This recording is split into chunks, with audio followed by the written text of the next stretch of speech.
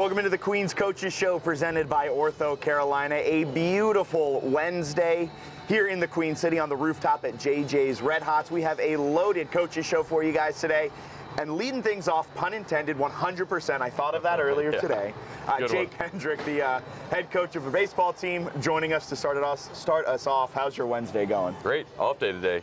Beautiful day, so can't complain. Yeah, in action yesterday, you guys kind of around that midway-ish point of the season where non-con has kind of slowly ended, now picking up that A-Sun Yep. play.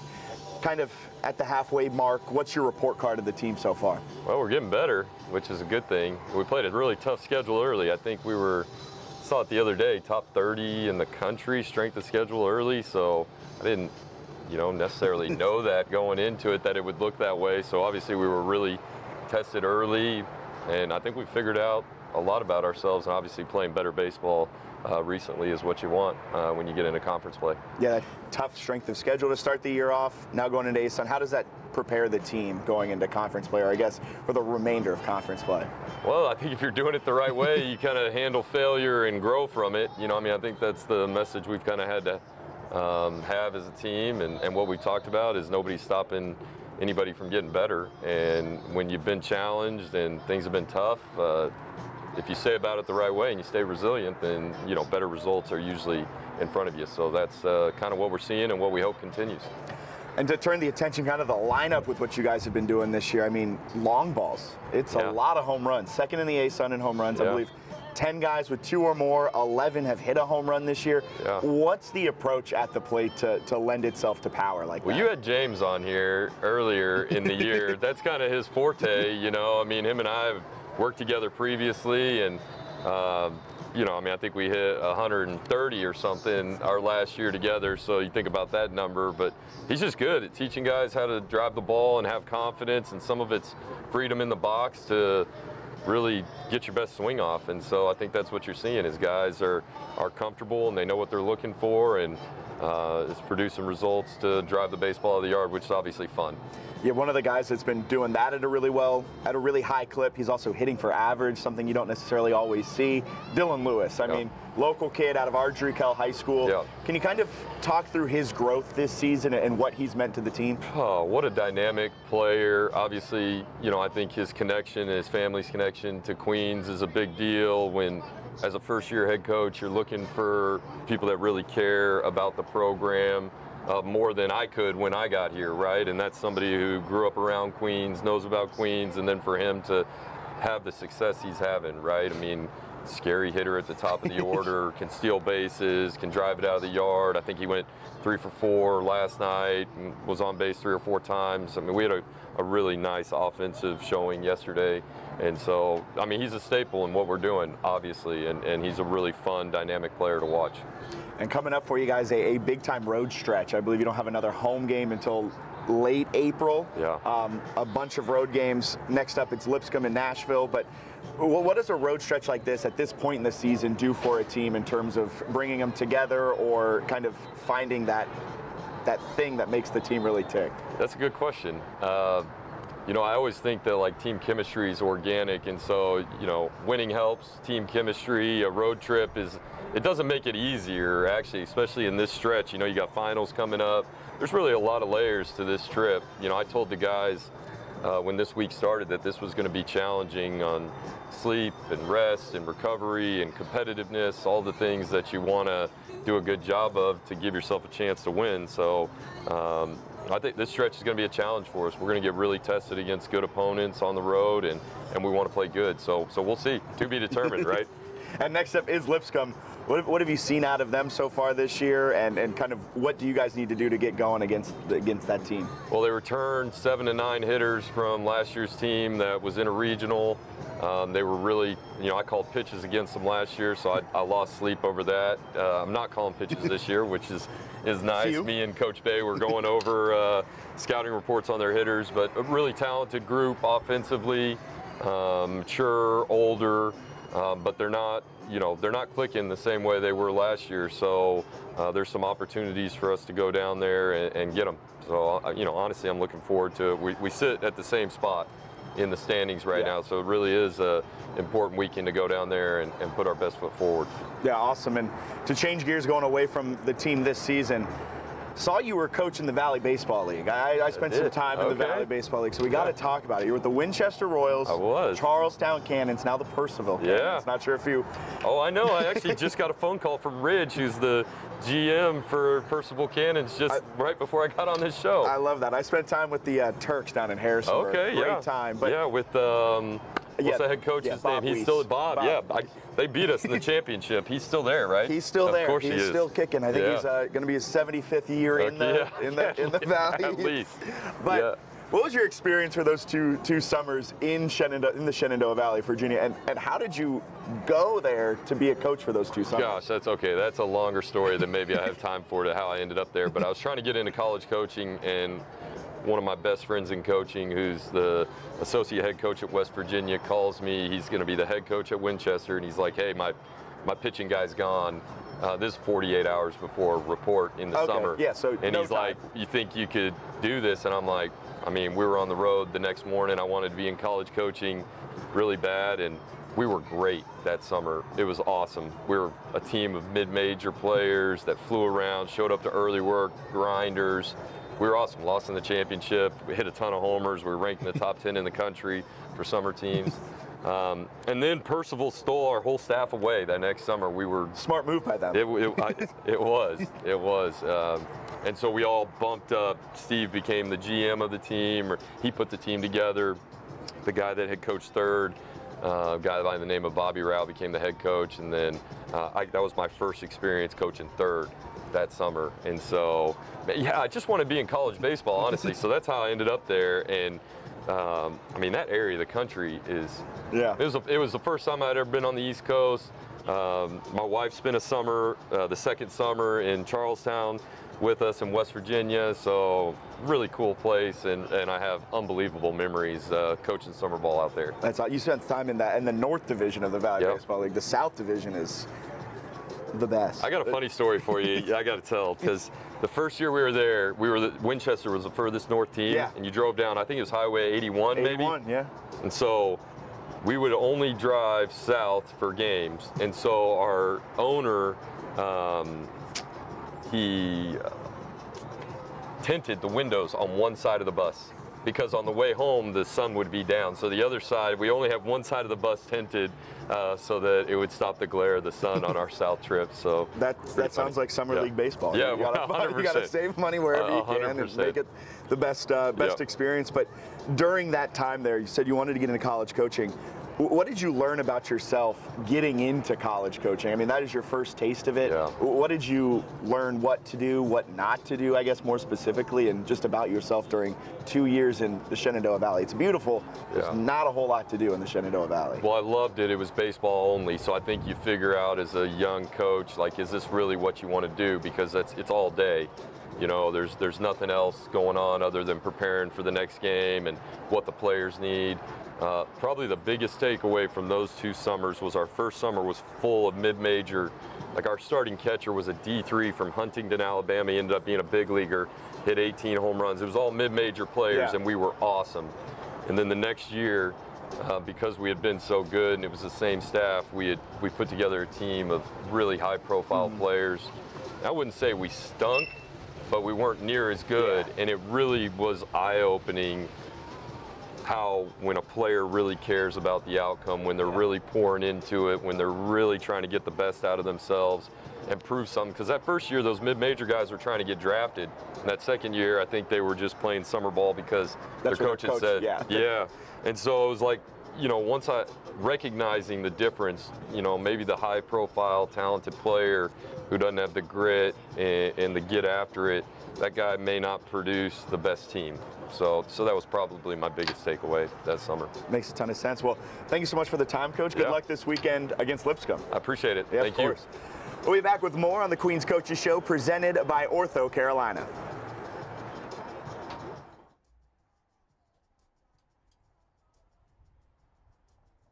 More than a good trail mix.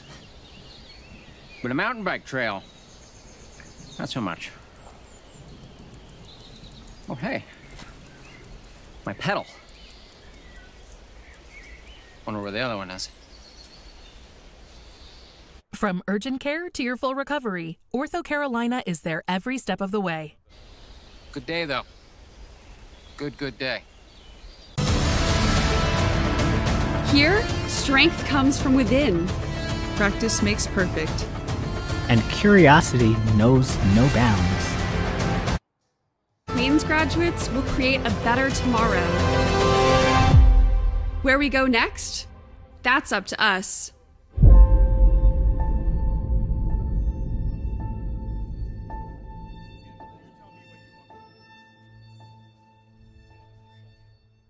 The Eats on East project showcases the Royals pride that spreads through East Boulevard, walking distance from Queens University campus. Royals fans and visitors are encouraged to take a walk to the legendary East Boulevard to culminate the true Queens experience at a variety of restaurants. Home of the Coaches Show, JJ's Red Hots was the first Eats on East partner. The movement quickly grew as other partners joined, including Lebowski's, Showmars, Jersey Mike's, Brixx Pizza, Kid Cashew, and Penguins Drive-In. The Eats on East partners proudly support Queens and its mission to create and connect fans and families. From the bluegrass of Kentucky, the Arkansas River, to the beautiful beaches of Florida. From the bustling streets of Nashville to the soulful sounds of Muscle Shoals and its vibrant cities. Fueled by growth, the Atlantic Sun operates in the fastest growing region in America and broadcasts in over 16 million homes. We're everywhere you want to be, with access to nine of the nation's top 80 media markets, including an impressive six in the top 50. Our 12 member institutions provide every collegiate experience from public to private to faith based. All of our member institutions are located in the top 30 states with the most rapid growth. So join us, because we're not just a stop along the journey. The Atlantic Sun is the destination. Here, strength comes from within. Practice makes perfect. And curiosity knows no bounds. I believe Queens graduates will create a better tomorrow. Where we go next? That's up to us.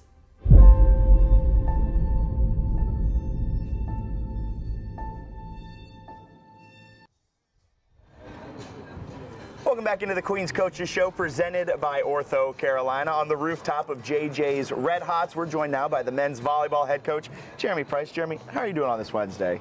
I mean, it's a beautiful night, and we're on the uh, the roof. First time I've been able to do this uh, this show up on the roof. So, uh, what a great venue! It's beautiful. Great hot dogs, great bratwurst, great everything, great fries, and one thing not great, the sun right in my face. But outside of that, fantastic. But you guys gearing up for a little bit of a late season push. Three games left on the regular season schedule. At this point in the season, what, what's the message to the team heading into this final three games? Uh, well, one, in our first year in the MIVA, we have an opportunity to qualify for the postseason tournament.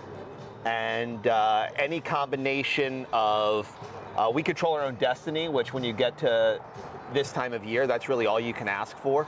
And so any combination, if we win uh, a match this weekend or uh, Quincy loses a match, we guarantee our spot in the uh, conference tournament. Of course, our reward for that will probably be a date with Ball State, who is a top 10 team in the country. I heard they're pretty good. And, uh, you know, we've already had an opportunity to go to Muncie uh, earlier this year.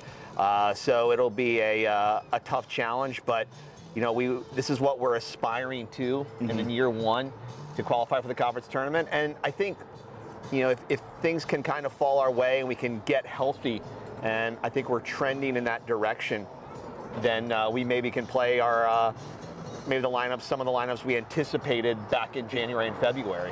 Yeah, I mean, it's not often at this point in the season you can say you're getting healthier, but was missing Jack Brinkman for a few games a few weeks ago. You got him back to play on Saturday. What was his return to the lineup? What did that mean for your team overall? You know, I think you know, Brink's one of those guys. One, he's a senior, so really I'm happy that he's back for senior weekend yeah. here, which is obviously a big deal. Uh, but, you know, he just plays with such passion and energy and just gives us a little bit of an edge. Yeah. And uh, I think we, we missed that uh, when he was out. And obviously, he's a really good player who you know leads us in kills. He, you know, the week before he got hurt, he set the program record for kills in a career. Uh, so over 900 with us, uh, a thousand in his career, and so you know those are those are significant milestones. So obviously a guy that can be uh, pretty terminal with the ball, and something you want this time of year. Yeah, you mentioned his passion. When he was on the sideline, he was with you guys as coaches essentially, and uh, I don't think I've ever seen a coach of course, a, a, current player, but with that much passion. I think he got a couple, uh, couple warnings from the referees. I think he thought the polo shirt meant he could talk to the officials, and uh, I actually told that to the the second referee. I said, you know, he's wearing uh, pants and a polo shirt, so he thinks he can coach now. But uh, you know, he's a really smart player and he's so passionate and he was full of ideas. I did tell him, I said, I'm really ready to get you back out on the court though. yeah, I can see how that how that would happen. Uh, but he's a senior. A lot of seniors on this roster for you guys, and it is, like you said, senior weekend. What has the impact of this senior class meant to Queens men's volleyball? Uh, well, it's very impactful. So we've got a senior class that ranges from everybody from Shafar Grant, who's been here for a year, to Daniel Atal, who's been here for five. Yeah. And you know they, they run the the gamut, and then we have a couple traditional, you know, four-year seniors as well. And uh, this class is going to be the one that, you know, their senior year was when we made our MIVA debut. And they have seen a lot of success. Um, they are going to be, I think, the second senior class in a row to finish with more wins than losses in the set now seven year history of our program, which is what you want to see trending. And so it's a pretty special class uh, mm-hmm. in that respect. You know, the, the guys that came in and are the traditional four-year seniors, they're the ones that spent their fall semester, their first year of college online. Uh, they played in masks their freshman year in front of no fans or a yeah. handful of fans, depending on the venue and the time. And for them to progress to where we are now and to accomplish the things that they have accomplished and to be the class that led us into the transition to the MIVA is, is huge. I can't say enough about uh, the six members of the class, and I'm excited to send them out, I think, in a way that's you know, hopefully worthy of what they have given to this program. Yeah, big time matchup this weekend. You control your own destiny. Lindenwood comes into town, another MIVA matchup. What do you see out of Lindenwood, and what do you guys need to do to come away with one win, two wins, sweep that series? You uh, you, you know unfortunately, we're hitting Lindenwood. They're playing really, really well right now. Uh, they beat Ohio State uh, the last time out, and uh, they had a had a really good weekend. Uh, I think they beat Fort Wayne on Friday. Friday they beat Fort Wayne, and then uh, Saturday they beat Ohio State. So they're they're peaking at a good time. They have a lot of veteran players. Yeah. AJ Lewis is a six-year senior, I think and uh, he's been he's one of the top players in our conference, and so they've got a lot of really really dynamic, talented athletes out there.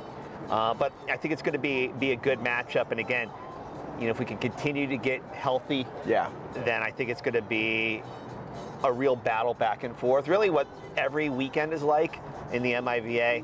Um, you know, even last weekend we were at Loyola, and I thought we played a really good match, especially on Saturday and uh, just were a couple points away. And not to get too in the weeds here with the lineup and how you're looking at it going into the weekend, but you have Pilch back, Brinkman back, Chance Champagne, the freshman who stepped up in a big way in Pilch's absence. He's healthy. How do you plan on using those three guys and Vazoha's in there as well, who's been a great outside for you guys? Is how do you plan to, to work them all in and get them all chances? Well, I think if this year's proved anything, is you need all those guys, and uh, you know we're going to have to to make use of, of everybody's skill set.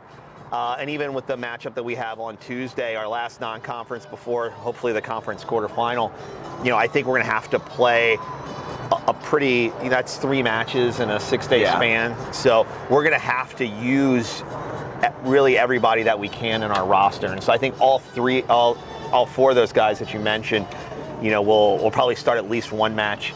And uh, as we're just keep trying to find that lineup that uh, that's going to work, so we can make some noise in the uh, in the conference tournament. Love it, and going all the way off of volleyball. Last time you were on the Queen's Coaches Show, presented by OrthoCarolina, we talked mustard. Right. I'm So a big I, fan. I guess this time we got to talk other toppings on hot dogs because you can go onion, sauerkraut. You said you weren't a big relish guy. Is it only mustard? I, I said I like the onions. Okay. I, I'm, I'm okay with that. Um, but yeah, I think you can't go wrong with just the spicy mustard, like I like I said last time. I, I, I don't uh, really bringing it back. Yeah, I just can't. I just you know I just can't do the ketchup on the hot dog. That's, that's just not me. I respect it. I, I think it's wrong, but I respect it. I'm a big ketchup guy. Ketchup, mustard, uh, relish, onion. Some people may say I'm going a little overboard, but the more the better. I like uh, I like the kielbasa's with the spicy mustard too. Very fair, very fair. But Coach, thank you so much for your time. Always an exhilarating chat about mustards. Yes. We'll look forward to it after the games this weekend against Lindenwood. Yeah, come check us out uh, Thursday night at six and Saturday at two o'clock. All games on the Queen Sports Network, so you can check it out. If you can't make it into Curry Arena, you can stream it all live. And we'll be back with more Queen's Coaches Show presented by OrthoCarolina from the rooftop of JJ's Red Hots.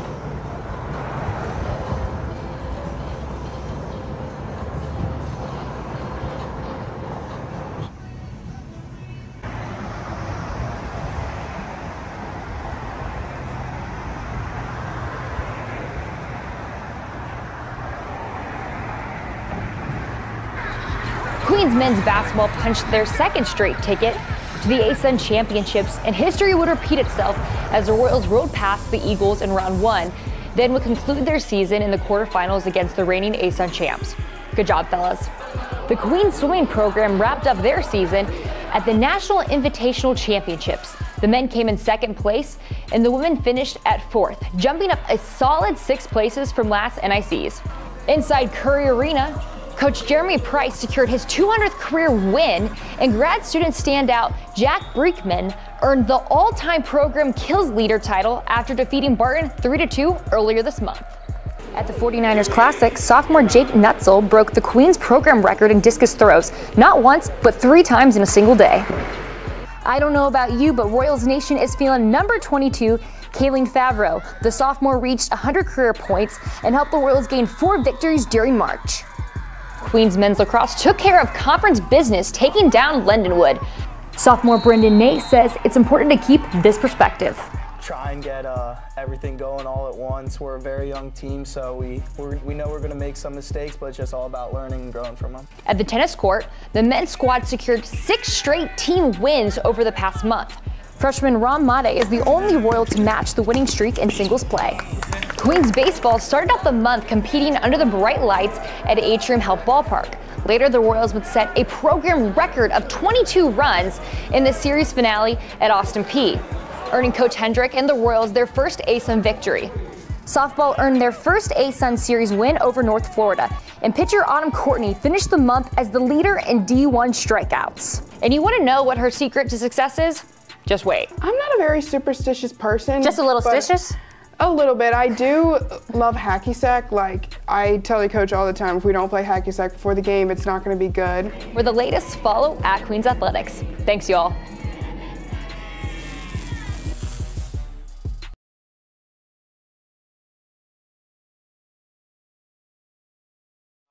Sit by uh...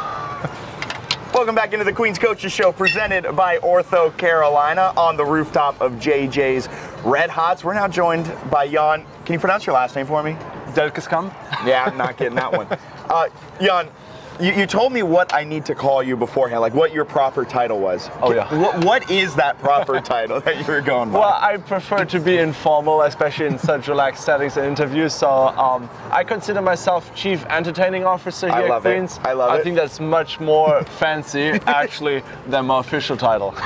That's awesome. And what does the Chief Entertaining Officer do for Queen's Athletics? Well, aside of um, making sure that we somehow stay on track and on schedule overall, um, I guess making sure that we all have a good time um, and that we do enjoy going to work at 8 and leaving at 5. No, just kidding. I wish college athletics would have that nice hours. I mean, yeah, it never never really lines up that nicely. But you were a college athlete at Queens, then went right into to Queens on, on the other side of it. Why did you choose to, to stay in the Queen City? Oh, good question. Um, trying to find a short answer for you. I can go as long as you want. One of, one of the biggest advantages of Queens and at the same time challenges is once you're there and enjoy yourself Mm-hmm. and have a great time, get to know wonderful people that help you not only excel in your sport, in your academics, but especially help you grow as a person. It's a hard and a tough place to leave. And so I guess that's why I decided to stay sixth year. it makes sense. And favorite part of your job on a daily basis? What's the What's the best part of go, going into work? Favorite part of my job? I ask the tough questions. That's all I do here. I was about to say. Um, hmm. Should have had an answer prepared. Um, I'm not saying lunch break. No, don't worry. uh, probably checking off things off my checklist. Um, that works. I guess that's a very, very uh, good, good start and a very neutral point. So while you were thinking, you flashed a, uh, a big old ring. Can you kind of walk through the national championship ring you're wearing and, and what? Because you were a swimmer for, for Queens beforehand. So, what, what was it winning that, that national championship? What was it like? Well, it was a historic one uh, to the extent that it was our last Division Two national championship. It was uh, this is the ring of uh, 2022, uh, which we got uh, back my first senior year, so to speak. I've had five years that I was privileged to be not only part of uh, Queen Swimming, but also serve as a team captain.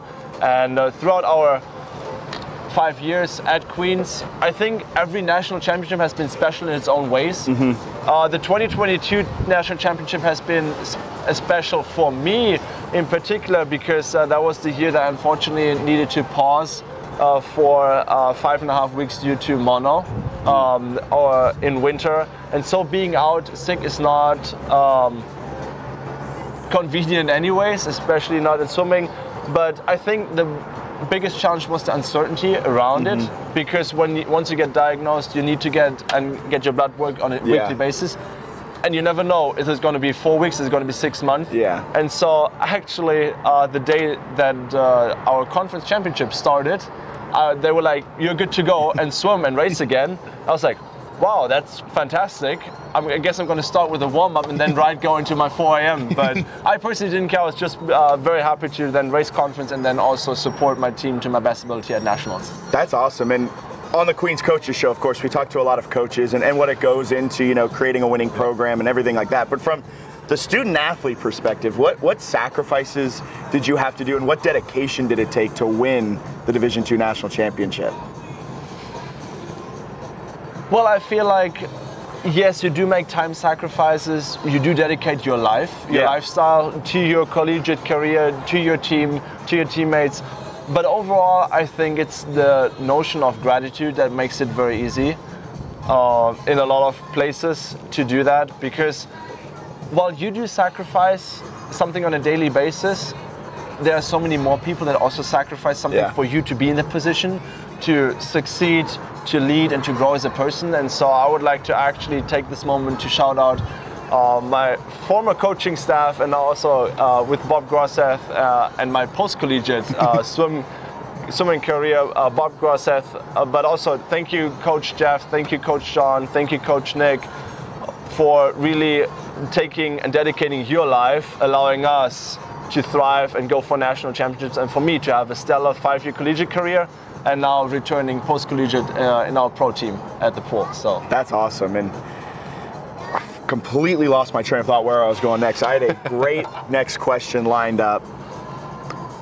I know how that feels. Don't I, worry. I, I'm, I'm feeling your struggles earlier when you're trying to think about what the favorite part of your job was. I guess from th- that, that, figured it out. I just had to talk my way through it. What was your best event? My best event Yeah, in swimming? yeah. I was a breaststroker and uh, IMer, so I did race the 100, 200 breast, 200, 400 M. I need to admit, though, my favorite events were definitely the relays. Okay. Uh, yeah, serving and uh, being there with the three other mates behind the blocks and racing that event together and going for national championship. It always gets double points in the relays. I think was the most special experience throughout my entire collegiate career. That's awesome. Well, thank you so much for taking the time on this Wednesday. Hope to talk to you again soon on the Queen's Coaches Show. Absolutely. Thank you so much for having me. Yeah, of course. We'll be back with more here on the rooftop of JJ's Red Hots. This is the Queen's Coaches Show presented by OrthoCarolina.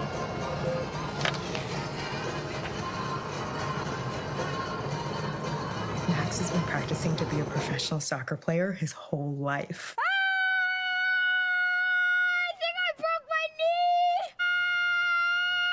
I broke my collarbone. What? Nah, I can do better. Let me take that from the top. From your first real urgent care visit to full recovery, OrthoCarolina is there every step of the way. I think I broke my ALC. Ah, it's ACL. He's getting really good.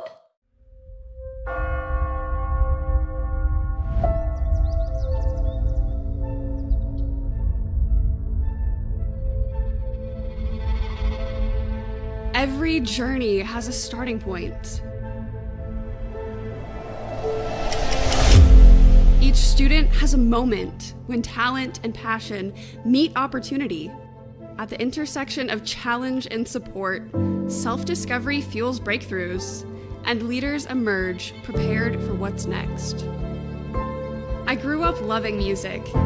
It possesses this very real, very unique power for connection and healing. And my journey as a music therapist took shape here. I discovered the pool offered a more level playing field and the chance to push my limits.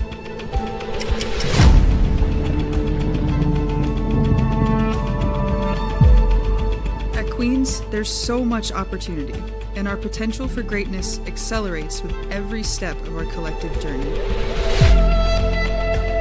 I've always had a knack for chemistry, and that talent has magnified since I got here, rippling out in new directions. I'm not afraid to take risks. I believe challenges make us stronger, and innovation only comes when we're willing to lean into the unknown.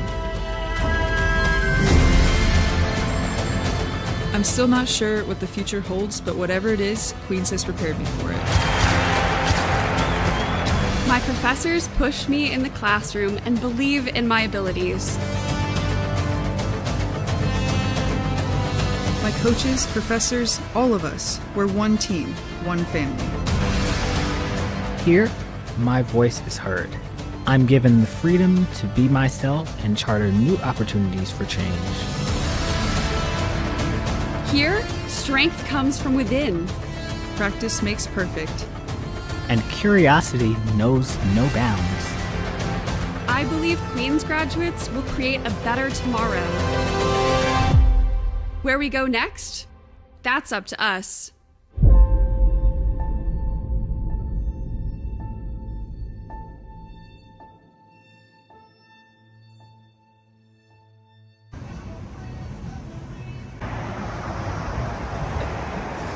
Welcome into the Queens Coaches Show presented by OrthoCarolina. We're joined now by the women's lacrosse head coach, Kelly McQuilkin. Kelly, how's your Wednesday?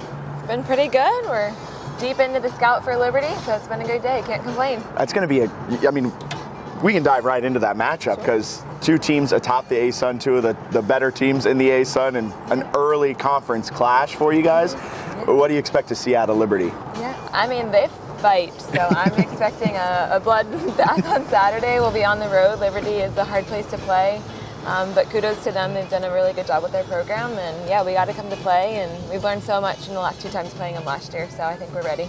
That's awesome. And you guys, non-conference is essentially all but finished. And now you're going right into the A-Sun schedule. What did you learn from the team during the non-conference time, and, and what can you take and take that into conference play? Yeah, you know, we're constantly learning. I mean, we're even learning from our kind Kennesaw game on, on Saturday of, um, you know, at this point in the game, what do we need? What do we need the day before a game? What do we need three days out from a game? So we have an interesting mix of a lot of experience and then also some young guns on the field too. So blending all those, but we're learning a lot. I think learning when to push the buttons on some of these girls and say run faster, and and maybe when to taper back and um, you know give them a little bit of rest on their legs too.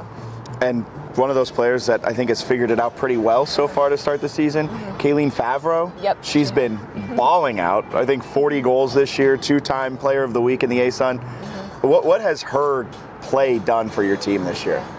She just plays with such poise and confidence. I, th- I think she is like silent but deadly. you don't hear from her a lot, but when she speaks, you know you need to listen because it's something really awesome that you're going to hear. Um, but the one thing I just love about Kay is that she could have 10 points in a game, but if we lose, it's not good enough for her. So she really just Um, she flies under the radar, I think, a little bit, but at the same time, like she can put some goals in the back of the net, and it's just a, a rock star for us on offense. Yeah, and she's just a sophomore, 87 career goals.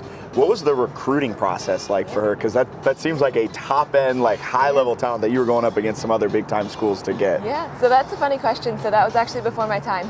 so she was committed to Queens before I got the job. So she was a 2022 commit, um, and that class committed pretty much virtually through the COVID pandemic. Um, and she was committed to the last coach and then to the Division two program. So it's been really cool to see um, that sophomore class in particular. I mean, the announcement came in June and they came to school in August.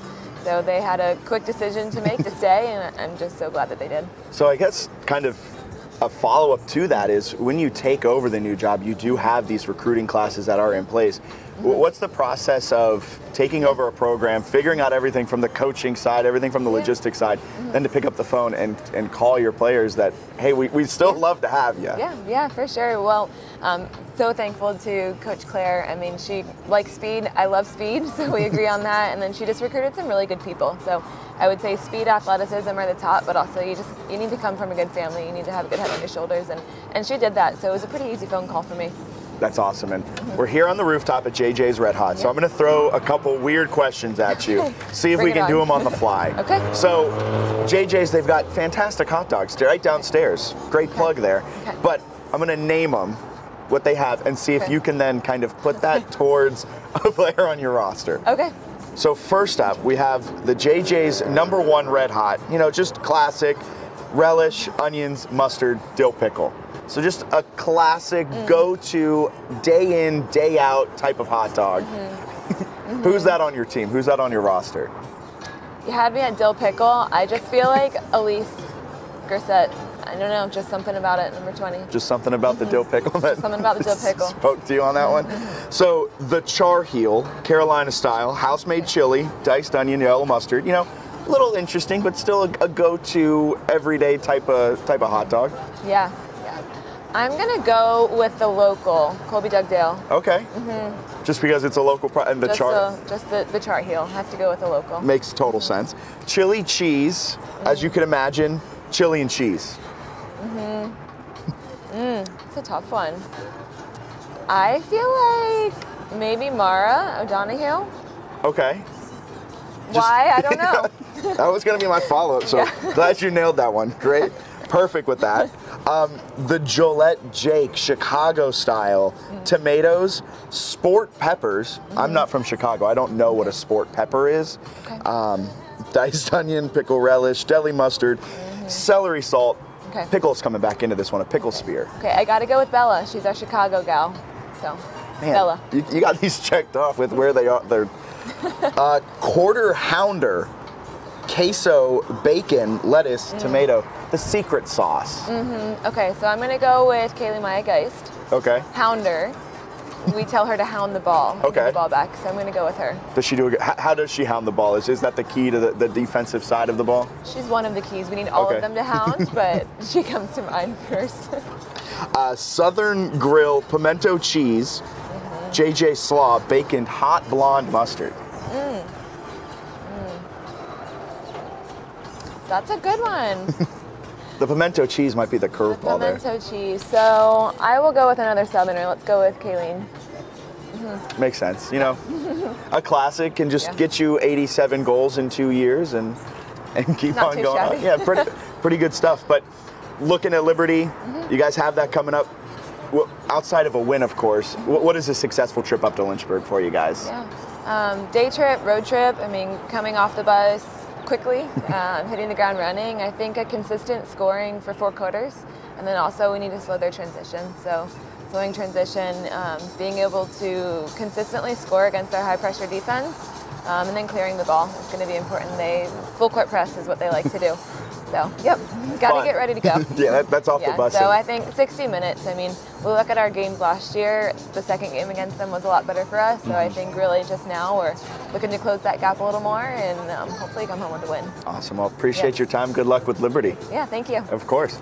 We'll be back with more on the Queen's Coaches Show presented by OrthoCarolina on the rooftop of JJ's Red Hots.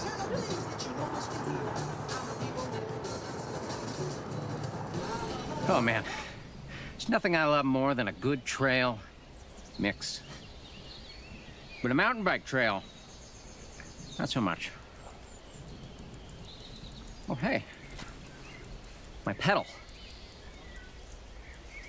Wonder where the other one is. From urgent care to your full recovery, OrthoCarolina is there every step of the way. Good day, though. Good, good day. Before a city turns to you for answers, before the stories that need telling are told, and our nation's biggest companies look to you to make their next big move.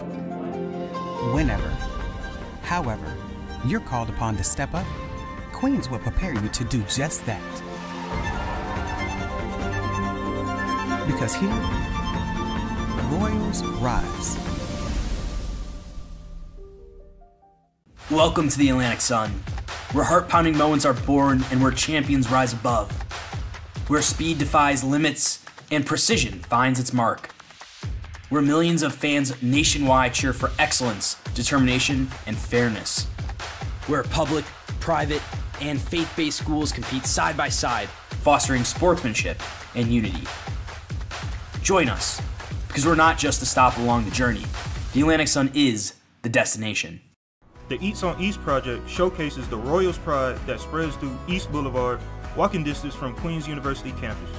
Royals fans and visitors are encouraged to take a walk to the legendary East Boulevard to culminate the true Queens experience at a variety of restaurants. Home of the Coaches Show, JJ's Red Hots was the first Eats on East partner.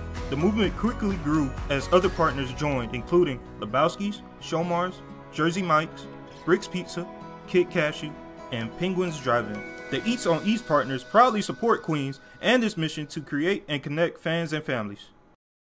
See all the Royals coaches live and in person during one of their many events held on the fields and courts of Queens University. All tickets for Queens home games can be purchased at queensathletics.com slash tickets. Here, strength comes from within. Practice makes perfect. And curiosity knows no bounds. I believe Queens graduates will create a better tomorrow. Where we go next? That's up to us.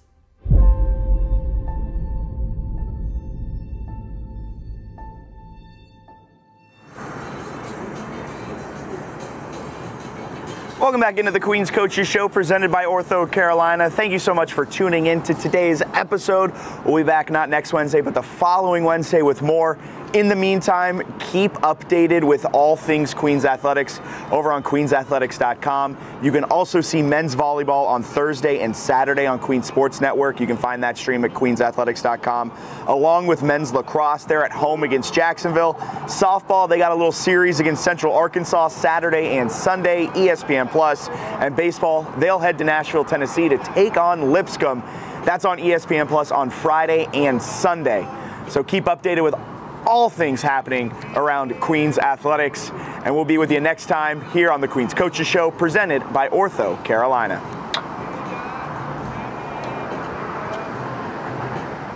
Max has been practicing to be a professional soccer player his whole life.